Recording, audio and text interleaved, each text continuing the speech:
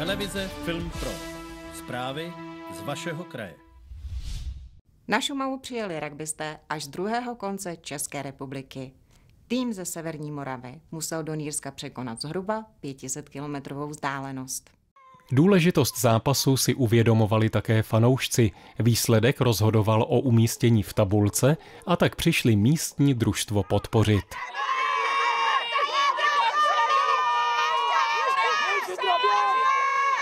V neděli 24.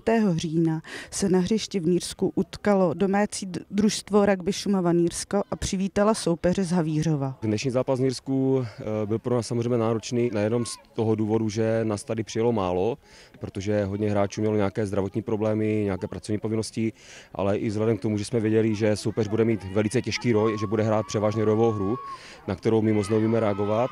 My jsme naopak chtěli hrát spíše útokem do prostoru. Eh, byl jsem spokojený tak napůl, byl jsem spokojený s bojovností kluků, kteří tady přijeli.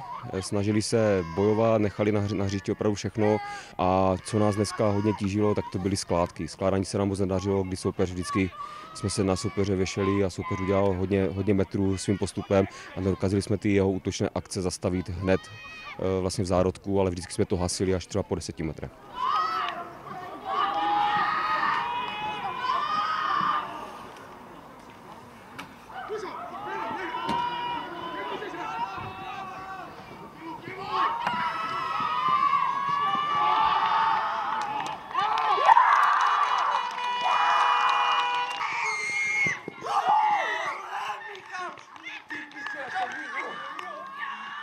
Máme v plánu vlastně poslední zápas, eh, potom eh, máme pauzu, znovu začínáme trénovat v prosinci.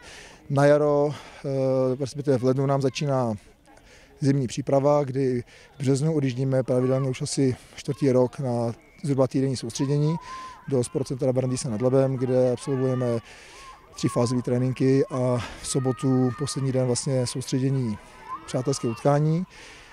Um, asi, co bychom potřebovali, je trošku rozšířit tu základnu a pomladit hráče, protože ten průměr věkový, který v našem týmu je, je relativně vysoký a každým rokem se obávám, který z hráčů ukončí svou hráčskou kariéru a to je asi takový náš handicap, že ne vždy se sejdeme v tom počtu, který potřebujeme a v podstatě to doplněme hráči, kteří nejsou tak zkušení, nejsou tak vyhraní.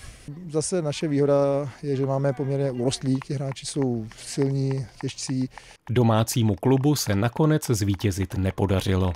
Jednalo se o utkání o páté až osmé místo a jelikož náš tým prohrál, tak se utká o sedmé až osmé místo první ligy rugby. Chcete vidět více? Zprávy od Plzně jihu až po Šumav. Bez bulváru a politiky. Jsme tam, kde se děje něco zajímavého.